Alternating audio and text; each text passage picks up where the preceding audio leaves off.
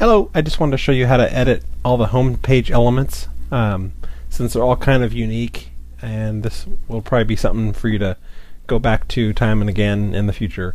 Um, first thing, if, if you click over to content editing and you see like this ghosting appear, all you have to do is click refresh. That's kind of a site-wide thing that that's just going to happen. Um, so do it that way. Um, so we'll start up here with the quotes area. If you if you're in content mode, click Edit Widget HTML. And several of these you'll have to do in the HTML mode. Um, this particular one, you'd use raw HTML for this. And you probably already saw, but it's basically it's the content within the block quote um, that you'll change, and then cite is who said it. C-I-T-E is who said it. So then, if you want to make new ones, just copy and paste each list item. This LI stands for list. And just make sure it's in, inside the UL unordered list tag. Alright, and then um, this uh, top area, it's it's navigation. It's not really editable, I guess. Um, because if, if you add anything or change anything here, we're going to have to redo, you know, how that appears. Um, the content in here. Again not not really an editable thing. Not really. Um, the uh, search again another non editable item. I those, those are basically there because they are available so I use Squarespace components to get in there. So if, if we do need to change some code it's a lot easier to do that. Um, the slideshow is coming soon. Um, and actually, yeah, slideshow is coming soon, so look for that. But but that'll be all HTML editing as well. Uh, this area up here, edit HTML. Uh, this this one's pretty easy. This is an H2 tag, and this is a paragraph tag. Um, so if you switch over here to HTML mode, you'll see that's H2 and paragraph um, the horizontal kind of tagline. Um, that's also HTML. And just be sure you do this one in raw HTML mode uh, because there is a little bit of script in there. It just it, it, it's a script that makes sure this uh, text stays full width is what that's hap what's happening there. So you know if if you ever change this, it it may blow out, may go you know wrap or something, but we we, we can work through it if if you have to change it. Uh, the About Us container, that's HTML. That, that should be pretty simple. Still loading. So if we switch over here, I think that's, yeah, it's also an H2 and then a paragraph. And there is an image in place, and you can definitely do this one through the WYSIWYG mode. So if you select, and you can upload a new image, I'm just going to hit cancel. Um, going to see what this image size is for you really quickly. That's 330 wide by 219 high.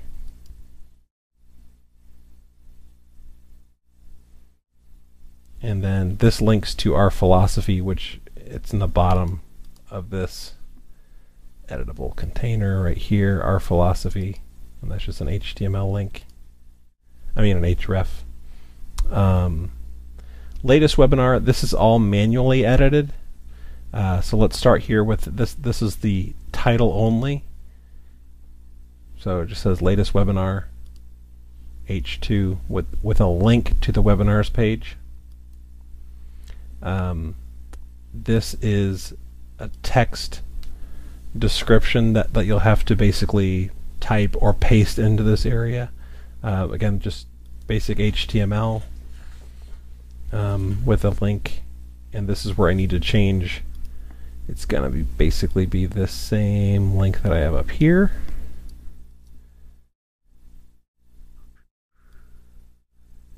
Between the quotes.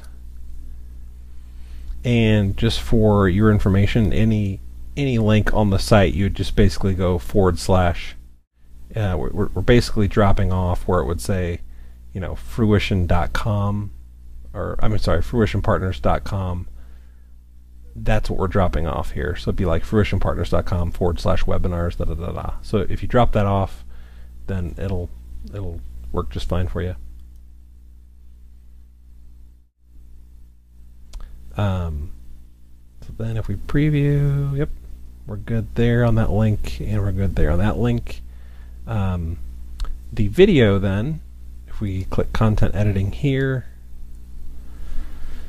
so the image is already set up, the, the background image for that container. Well, actually, it's it's this image here. Um, so if you upload a new video over at Vimeo, um, basically you would just probably just change out these numbers right here, which would be that that Vimeo ID. Um, that should be quite simple, um, and then you can give it a title uh, what would you know prob- probably whatever you want to call it, but um, there's there's a position there for it and a position here for it. Um, and this text right there will will overlay over top of um, over top of the image. This the thumbnail caption is what that is. So there's that, and you, you you'll want to do this one in raw HTML mode as well because there is um, some extra code in here that we don't want to lose. Um, latest widget HTML. This automatically is populated from the blog. Um, oops, this area right here is. Um, this is just the title area. If you do need, if, you know, if if if you want to make this, you know, let's go back to preview. I guess if you see by, by, by chance that this needs to be shorter or longer, um, hop over to structure edit mode and when you mouse over this container you'll see how it says configure. Click configure and you can scroll down here and here's here's the actual um, content that's coming in. That's the word trim is what that's called. So you can change that like 55 or 50 or you know you can go larger whatever but it probably won't go much much higher than this. It'll probably bleed into that box. Um, then this area over here the, the case study area um, the lower portion again if you click configure while in structure mode you'll see that you know it's pulling in the RSS and it's pulling in the content like the, the same way.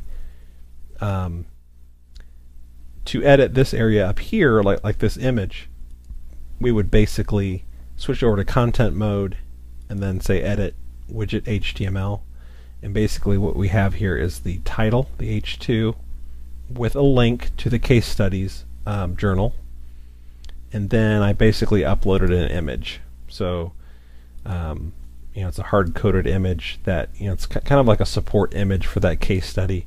Um, and if you're not going to change those out very often, then this is like a surefire way to make sure that image is going to look exactly how you want to look on your home page. So just, you know, select edit, upload a new one. Um, I think lastly would be all this footer content.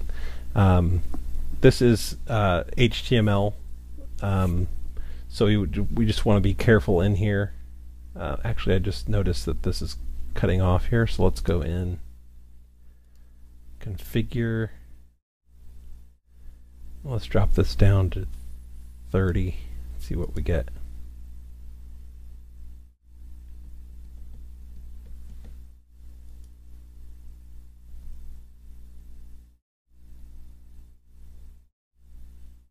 There you go. So at least we we can see the read more now.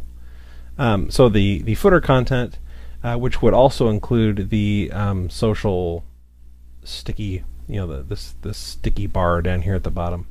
Uh, you'd you'd go to structure editing, and this is where you'd want to be particularly careful. Um, but this is uh, post canvas code, and if it looks, you know, weird here, um, you can actually go up to website management, website settings, code injection, and then uh, we said post canvas so, so you can see how it says edited and here is all of the footer content so where it says start footer content here um, here's kind of where all that information is. So there's like your logo and things like that. Uh, but you know, if you change your phone number or something like that, it's you know it, will be in here. Um, I would I would suggest that you just kind of be really careful in here because this is you know all live HTML and it's not there's no r- real undo, there's not an undo in this section. Um, but that's that's all of the um, all of the content for that. Um, actually, I think the the other footer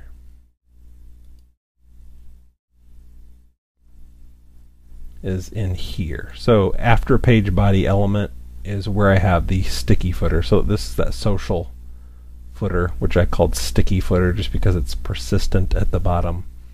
Um, but here's where all the information. Here's like your LinkedIn.